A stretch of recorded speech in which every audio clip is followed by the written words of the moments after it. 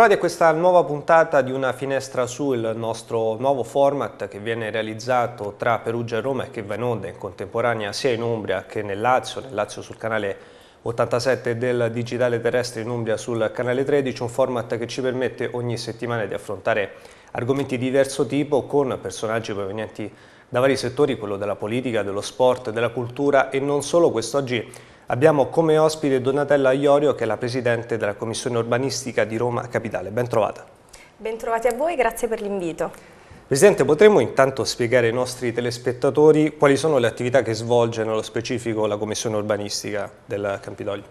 Allora, la Commissione Urbanistica ha funzioni di indirizzo e di controllo su tutte le attività svolte dal Dipartimento Pianificazione e Attuazione Urbanistica. Sono quindi delle attività molto ampie e complesse che vanno dalla pianificazione del territorio all'attuazione dei singoli strumenti attuativi fino allo svolgimento di pratiche che tutti quanti noi conosciamo, tra cui per esempio ne cito una, i condoni. È un dipartimento molto vasto che eh, oggi diciamo, segue anche le attività di quello che una volta era il Dipartimento Periferie. Quindi noi facciamo delle sedute di commissione circa due volte alla settimana e nelle quali io convoco su degli ordini del giorno, su dei temi che sono più sentiti sia dai cittadini ma anche diciamo, eh, politicamente, che noi sentiamo di dover eh, affrontare in commissione e magari poi portarli anche in assemblea capitolina.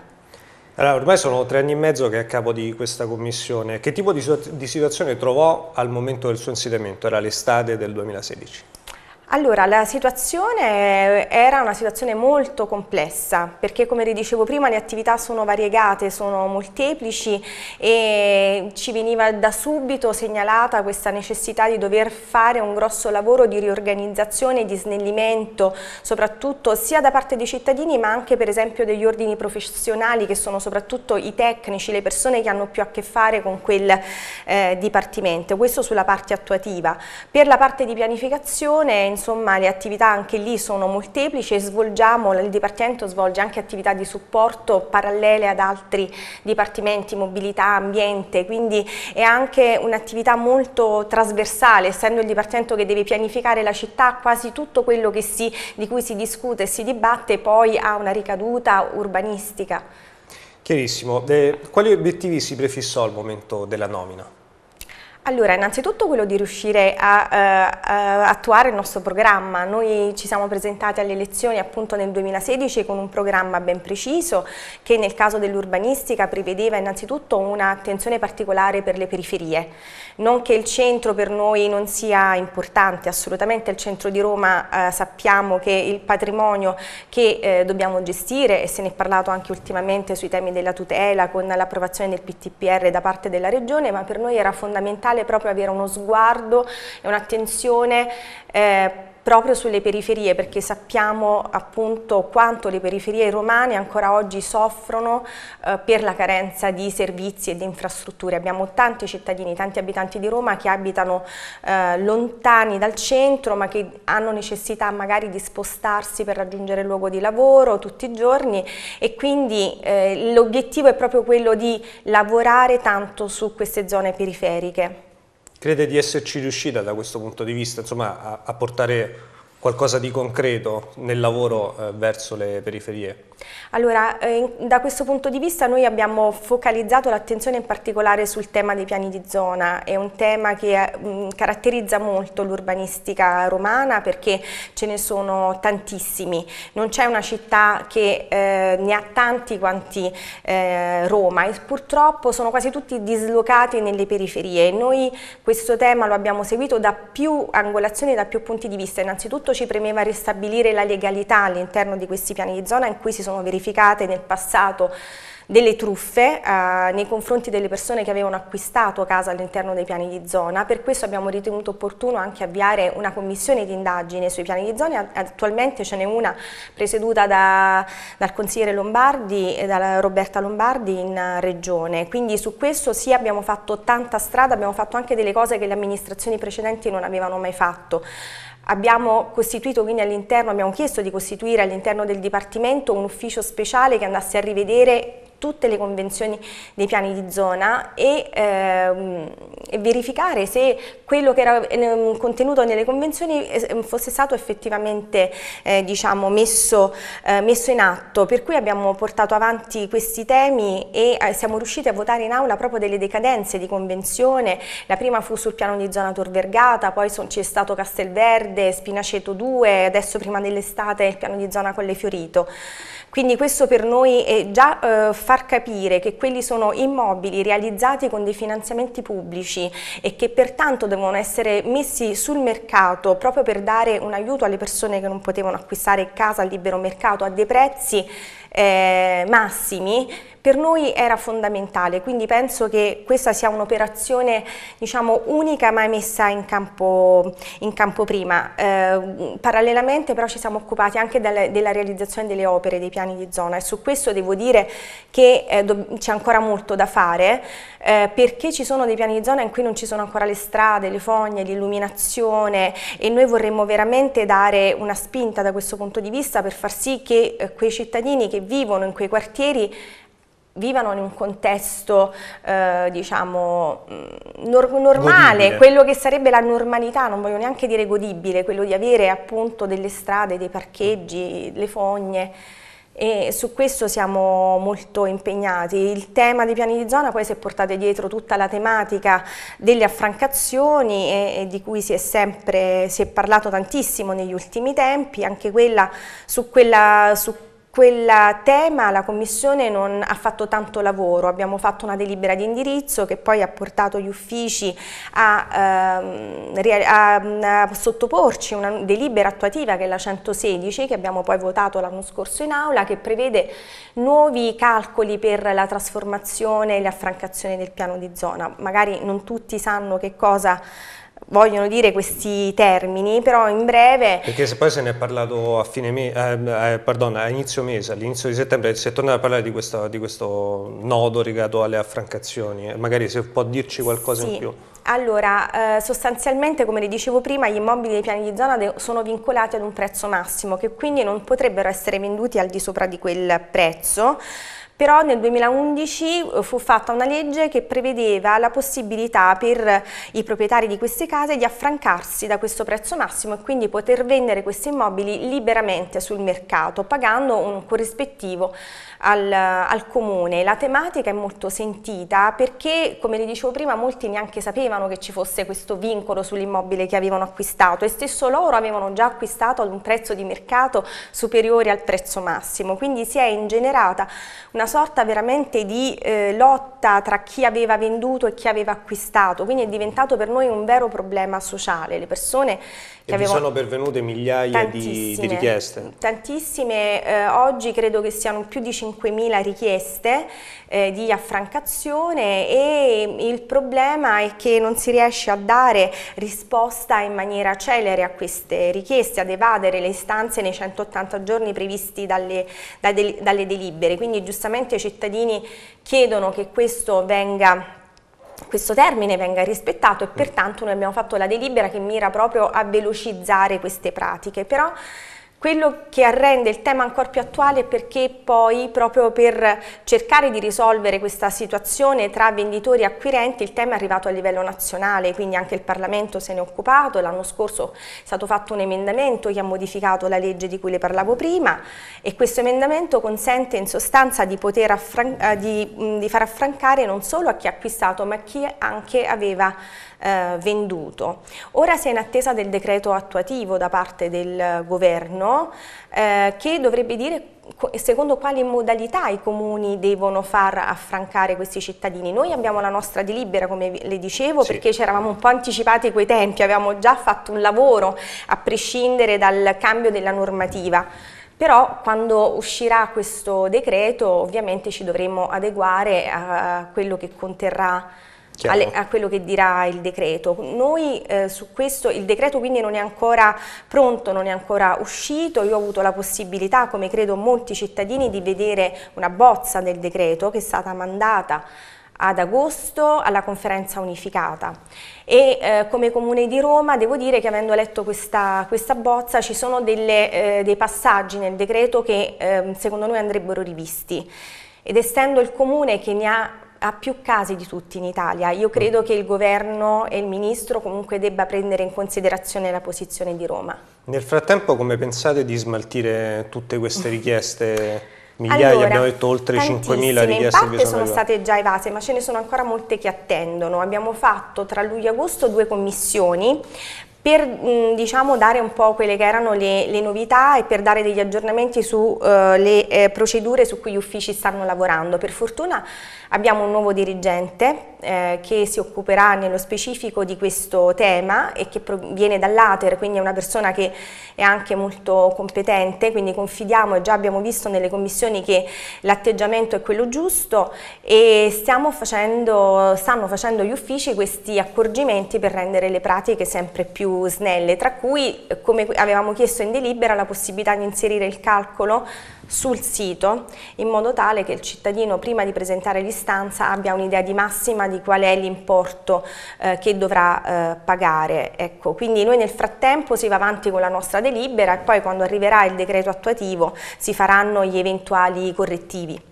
per adeguarsi alla legge. Insomma. Sempre riguardo la questione dei piani di zona c'è il discorso delle trasformazioni, cioè la cancellazione del vincolo del cosiddetto diritto di superficie mhm. dietro uh -huh. il pagamento di un'altra somma. Quanto bisognerà aspettare per avere eh, 24 piani di zona per così dire trasformabili? Ok, Questa è una domanda un po' complessa. Sì, eh, il tema è complesso. Ad oggi sono 14 piani già in trasformazione, ma sempre nella delibera di indirizzo abbiamo detto agli uffici che eh, noi eravamo eh, intenzionati ad allargare il numero, ad ampliare il numero dei piani in trasformazione. Nell'ultima commissione di agosto gli uffici ci hanno portato un elenco in cui hanno rappresentato alla commissione che eh, altri 10 piani sarebbero pronti per andare in trasformazione trasformazione ma completeranno questa, questa fase di eh, analisi su tutti i piani a dicembre, Ci, potrebbero essere anche di più di 24, dopodiché verrà preparata una delibera che dovrà essere votata dall'Aula perché sostanzialmente questi piani di zona sono costruiti su dei terreni che erano stati espropriati dal comune, pertanto il terreno è di proprietà del comune e eh, chi vuole svincolarsi e diventare pieno proprietario dovrà pagare questo corrispettivo di trasformazione trasformazione. Un altro aspetto importante di cui parlavamo tra l'altro a telecamere spente e a cui eh, so che lei tiene molto è quello dell'housing sociale. Di cosa si tratta esattamente? Allora l'housing sociale è eh, sostanzialmente un tipo di ehm, eh, edilizia, un tipo appunto sì di edilizia che è sempre privata ma anch'essa è ehm, fissata con un canone di locazione calmierato. Che cosa vuol dire? Quindi sono, eh, sono immobili, sono eh, case realizzate da privati e eh, diciamo eh, rivolte a privati, case diciamo la, la cui compravendita, nella cui compravendita il comune non interviene, è un normale eh, contratto più che di compravendita inizialmente inizialmente per i primi 15 anni di locazione tra privati, però eh, il housing eh, è, è, è, fatto in modo tale che per questi 15 anni mm-hmm. non si possa superare un, eh, un canone di locazione e questo è fatto in modo per dare la possibilità a chi non, ha, chi non può pagare i fitti diciamo, di mercato e quindi penso a famiglie eh, in cui c'è un monoreddito oppure a persone anziane, a studenti, a persone che magari non hanno un lavoro stabile di poter comunque accedere ad una, ad una casa. Cosa è successo? Che negli anni passati si è realizzato housing sociale a Roma eh, sia con delle convenzioni urbanistiche ma anche in seguito all'applicazione della legge piano casa la 21 eh, del 2009, quindi abbiamo dell'housing sociale realizzato su Roma e in cambio della realizzazione di housing i costruttori hanno ricevuto anche delle premialità incubature, però guarda caso il comune non ha contezza di dove sia questo housing, di dove sia ubicato, in che municipio, di quanto sia proprio l'ammontare di questo patrimonio. E noi abbiamo fatto insieme alla Commissione Patrimonio e Politiche Abitative che era presieduta dalla eh, Valentina Vivarelli Martelli che da poco è diventata assessore al patrimonio alle politiche abitative. Abbiamo messo in piedi questa delibera che mira innanzitutto a distribuire le competenze all'interno del comune tra urbanistica e eh, politiche abitative, ma soprattutto a creare un registro che possa essere messo online cui, per cui queste persone potranno vedere tramite il sito del Comune di Roma dove sono collocati e posizionati questi immobili e quindi accedervi. Stiamo diciamo, facendo venire fuori un sommerso diciamo così, di immobili che eh, possono andare a, favorire una certa fascia di persone. E questo secondo noi è molto importante perché ci sono delle persone che non sono eh, indigenti, che quindi non hanno diritto alla casa popolare o ad altri tipi di misure ma che potrebbero diventarlo perché sono in una fascia economica borderline, quindi poter avere la possibilità di usufruire di questo tipo di immobili secondo me li aiuta ad avere anche una vita più dignitosa e magari a non cadere in situazioni ben più drammatiche. Molto interessante sicuramente eh, questo aspetto, soprattutto perché poi magari molti cittadini non conoscono neanche certe dinamiche, non sanno che potrebbero avvalersi ecco, di, di, strumenti di questo tipo per, sì. per poi approfittarne. E, eh, una cosa che volevo sì. aggiungere è che l'housing è molto diffuso per esempio nei paesi anglosassoni ma anche in città del nord Italia, mh, mm, qui da noi o al sud mh, si, sente, si è sentito pochissimo parlare di housing ma eh, questo prevede anche una modalità diversa di abitare, quindi un concetto di abitare eh, dove si dà molto più spazio ai, agli ambiti di comunità, cioè mm. oltre all'alloggio ci sono degli spazi comuni in cui le persone che vivono possono svolgere insieme delle, delle attività e per questo nella delibera noi abbiamo inserito oltre a dei precisi eh, paletti per costruire le convenzioni urbanistiche anche di eh, elaborare una convenzione sociale integrativa proprio perché bisogna eh, capire che questo è un modo nuovo di abitare che potrebbe veramente anche essere utile per rivitalizzare delle zone degradate, per creare comunità anche nelle periferie di cui parlavamo prima in cui mancano gli spazi sociali, in cui mancano luoghi sì. in cui condividere, quindi anche immaginare un modo di, di abitare nuovo potrebbe dare dare alle persone la possibilità anche di fare comunità, di fare rete, cosa che un po' manca nelle periferie dove ci sono dei condomini. Se non altro si è persa credo rispetto esatto. alle epoche passate. Quindi noi confidiamo molto in questa, questa novità. Allora, di stretta attualità è anche il nodo che riguarda l'emergenza abitativa sempre nella capitale. Di poche settimane fa la pubblicazione di un avviso pubblico finalizzato alla redazione di un elenco di immobili affittati grazie al contributo economico mensile di sostegno all'emergenza abitativa, che cosa è opportuno sottolineare riguardo questo aspetto? Anche in questo caso l'aiuto che noi vogliamo dare è proprio alle persone che sono in difficoltà e non riescono a trovare facilmente una casa a libero mercato. Che cosa succede? Lo spiego molto semplicemente, c'è stata una delibera di giunta, la 169, che ha mh, mm, aperto un bando per cui chiunque, sia enti pubblici ma privati, possono eh, indicare al comune eh, di avere delle case sfitte. Le mettono a disposizione eh, in cambio del pagamento di una somma che sono massimo 561 euro al mese che il comune darà direttamente a loro a patto che loro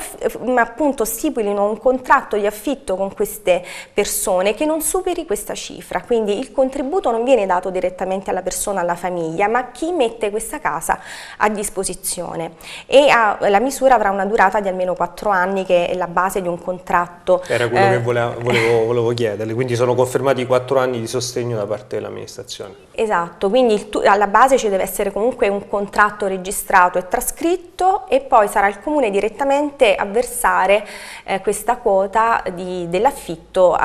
sull'IBAN del proprietario dell'ente che mette a disposizione l'immobile. Questo va anche contro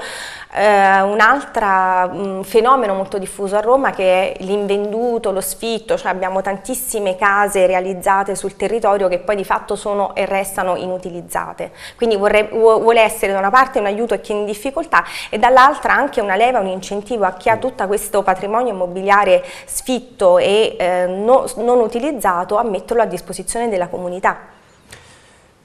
Cambiamo argomento, parliamo del progetto Reinventiamo Roma che è molto a cuore non solo dell'assessorato all'urbanistica, quindi della Commissione, ma anche sicuramente di, di tutta la, la, giunta, la, giunta, Raggi. E, nello specifico ci sono stati un paio di appuntamenti, un, un progetto che magari ci corregga, eh, mi corregga se sbaglio, eh, non riguarda solo una zona, cioè riguarda diverse zone di Roma.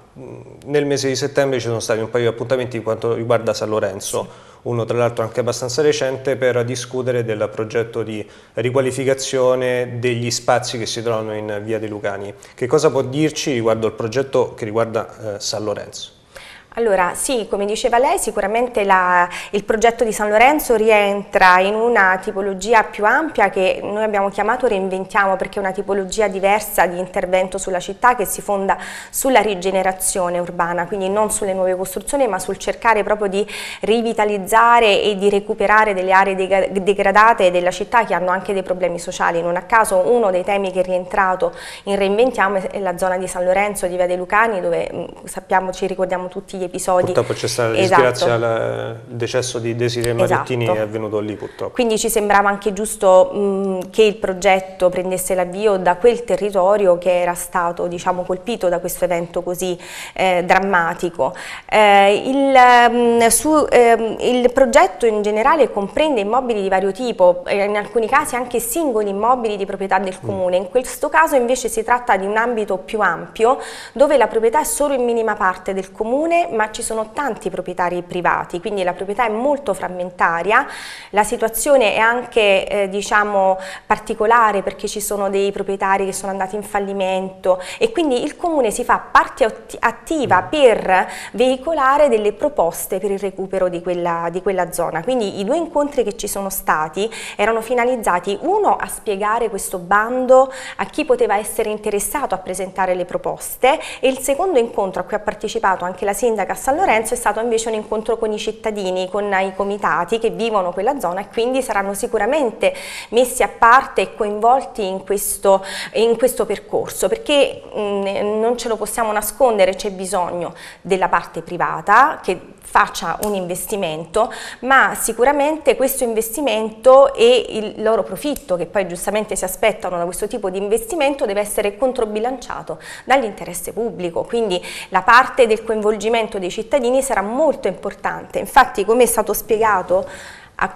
coloro che saranno dei, i mm. proponenti eh, dovranno costituire dei team, dei team di architetti, di avvocati che dovranno avanzare le loro proposte e i privati potranno sposare una o più di queste proposte, quella che sembrerà alla cittadinanza, al territorio, quella migliore no? verrà scelta. Se ce ne sarà più di una sarà l'amministrazione a fare una sintesi tra diverse eh, proposte. Qualora non dovessero arrivare, noi non ci auguriamo che vada così ovviamente, il Comune come piano B ha anche la possibilità di espropriare per eh, interesse pubblico e quindi certo. saremo noi parte attiva nel senso che dovremo trovare anche i soldi, i finanziamenti per fare questo tipo di intervento. Questa idea di portare i proponenti a costituire, come diceva lei, dei team, eh, da cosa nasce e insomma, quali risvolti positivi potrebbe portare? Beh, eh, secondo me eh, dovendo agire su un territorio, su una porzione di città non lo possono fare solo gli architetti o solo gli ingegneri tecnici, ma ormai la progettazione urbana ha dei, dei caratteri sociali, quindi avere all'interno dei psicologi ma anche degli avvocati che possano valutare eh, diciamo, quali potrebbero essere i risvolti normativi, giuridici, per noi è importante nel senso che eh, oggi eh, anche la progettazione si fa in maniera diversa, pensare che sia solo, solo di architettura che magari presenta il disegno, il rendering e poi non ci sia uno studio più ampio, eh, diciamo, ci sembra un po' una tipologia di mh, progettazione un po' eh, superata. Ci spostiamo da San Lorenzo nella parte diciamo, nord-ovest eh, della capitale, mh, in periferia, mh, nello specifico a Prima Valle, perché sempre nel mese di settembre era martedì 10, se non sbaglio c'è stata lì un'assemblea pubblica per discutere del progetto di qualificazione del mercato di Sant'Iginio Papa a Primavalle e lì non sono mancate delle critiche perché molti cittadini hanno trovato inutile raccogliere delle idee rispetto ad un progetto che a detta loro era già definito. Che cosa si sente di rispondere rispetto a queste critiche che sono avanzate e che considerazioni vuole fare più in generale rispetto a questa idea di riqualificazione del mercato? Allora, eh, per quanto riguarda il mercato io sono molto contenta che si faccia questo percorso, questa riqualificazione. È un mercato che io conosco molto bene, che ho frequentato, quindi conosco gli operatori dei banchi e eh, noi ci siamo impegnati come amministrazione a riqualificare proprio i mercati nei singoli mm. quartieri perché secondo noi è comunque un luogo di, come le dicevo prima, di vitalità, di comunità, eh, oltre che dare una mano agli operatori che ovviamente estremamente eh, importante quindi dal punto di vista economico. Sant'Igino Papa, eh, io so che il, eh, il, progetto è stato suddiviso in due parti, il lavoro, quindi una prima parte che già è stata realizzata ha riguardato la messa in sicurezza eh, degli impianti e, eh, e adesso invece si sta discutendo su come organizzare gli spazi interni, quindi è stato fatto in due tranche. Eh, nello specifico il municipio ha attivato un, un confronto con, con, i cittadini, con gli operatori, con gli operatori recependo delle richieste, ma poi queste richieste eh, in parte sono state accolte, in parte no perché diciamo, non andavano a, eh, non rispettavano dei requisiti tecnici perché comunque un mercato delle, deve avere delle caratteristiche, i banchi devono avere delle dimensioni minime e io credo che comunque come è stato fatto fino ad ora perché ci sono state anche commissioni municipali ma l'assemblea anche che c'è stata recentemente in cui ha partecipato la sindaca, l'assessore Cafarotti, il presidente Coia, il presidente del municipio, quindi la volontà secondo me sia del municipio territoriale ma quella del comune è di continuare a dialogare con i cittadini per rendere il progetto che è stato realizzato il più possibile aderente alle richieste. Quindi la critica la capisco fino a un certo punto perché le proposte poi dei cittadini non è che si possono sempre accogliere al 100% perché vanno calate nella realtà o comunque vanno um, poi verificate anche da un punto di vista tecnico. Allora, siamo quasi in chiusura, però ci sono gli ultimi due aspetti che vorrei affrontare con lei. Il primo, sempre per quanto riguarda tra l'altro il quattordicesimo municipio, è relativo al progetto di eh, riqualificazione ehm, che eh, riguarda il eh, Santa Maria della Pietà, da non intendersi, tra l'altro noi l'abbiamo già specificato nel nostro telegiornale, non come il Santa Maria della Pietà come parco, ma come area che eh, si trova appunto nel quattordicesimo eh, municipio. So che è un tema a lei caro anche questo, quindi che cosa può dirci al riguardo? Allora, noi siamo molto contenti per quello che abbiamo fatto fino adesso sul Santa Maria della Pietà, perché finalmente si è sempre parlato di questa centralità urbana prevista dal nostro piano regolatore, ma mai nessuna amministrazione aveva concretamente fatto qualcosa che avviasse il percorso per eh, definire un, un progetto di, unitario di tutta la centralità, che come diceva lei è molto complessa, perché c'è il parco con i padiglioni, ma c'è poi tutta l'area circostante che prevede gli istituti scolastici, eh, prevede il la parte, di scambio. il parcheggio di c'è di tutto e infatti noi siamo riusciti in primo luogo a stipulare un protocollo d'intesa tra comune, municipio, ASL, eh, regione e città metropolitana, città metropolitana, perché molte delle aree intorno a Santa Maria sono di città metropolitana. Sulla base di questo protocollo d'intesa, e già arrivarci non è stato semplice perché magari le posizioni non erano proprio eh, allineate da parte di tutte le istituzioni, però ci siamo riusciti e eh, abbiamo coinvolto e su questa base quindi sono iniziati dei tavoli, dei tavoli tecnici dove so, è stato discusso quello che per noi poteva essere la visione su questa, su questa centralità. Abbiamo messo sul piatto questa nostra visione e a luglio le abbiamo anticipata ai cittadini, per cui sono state fatte delle assemblee proprio lì in loco, nel centro anziani di fronte al Santa Maria. noi abbiamo seguito anche con il nostro del giornale, erano una settimana una in tutto il mese. Una settimana, esattamente. Adesso c'è un documento conclusivo di queste assemblee e vorrei sottolineare che non si tratta ancora del processo partecipativo che dovrà avvenire, ma è solo un modo di condivisione con la cittadinanza di quella che per noi potevano essere le varie vocazioni perché il Santa Maria è un, un patrimonio straordinario che di vocazioni ne può avere tante, tantissime e le abbiamo messe sul piatto, le abbiamo condivise con i cittadini, loro ci hanno dato le loro impressioni, hanno, hanno anche eh, fatto dei questionari, dei comitati e addirittura hanno fatto delle proposte molto più ampie e organiche che eh, valuteremo. Il prossimo passaggio sa sarà quello di ehm, realizzare uno schema attuativo sì. per poi arrivare il, al progetto unitario come prevede il piano regolatore, quindi io credo che finalmente dopo tanti anni sul Santa Maria stiamo portando avanti qualcosa di concreto. Poi sicuramente come succede ci possono essere delle critiche, delle diverse vedute, ma io dico che eh, bisogna fare e eh, altrimenti io su questo forse ho citato anche coloro che hanno presentato una legge di iniziativa popolare in regione, il comitato si può fare e quindi si può fare e noi lo stiamo facendo, poi lo dobbiamo costruire insieme questo percorso, sicuramente con i cittadini che tanto tengono alla, alla Santa Maria della Pietà, però che è un posto talmente unico e importante da dover essere portato veramente a livello urbano.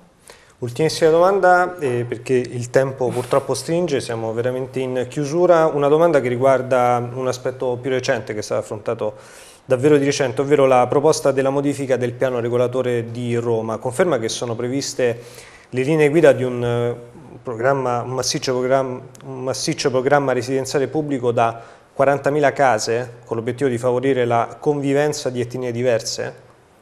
Allora, sì, noi abbiamo presentato questa delibera che eh, contiene tanti punti, è veramente una delibera complicata. Nel Firmata da lei e Pietro Calabrese. Sì, da Pietro Calabrese e ehm, diciamo che è un po' la somma del lavoro che abbiamo fatto in questi tre anni e contiene la nostra visione di città per il futuro, quindi una città che si sviluppa lungo le direttrici del trasporto pubblico, quindi completamente intorno alle linee ferroviarie, l'assessore anche sta lavorando tanto sull'anello ferroviario, quindi è una città impostata affrontata con una visione completamente diversa. Facendo questo discorso non possiamo dimenticare il problema dell'emergenza abitativa, quindi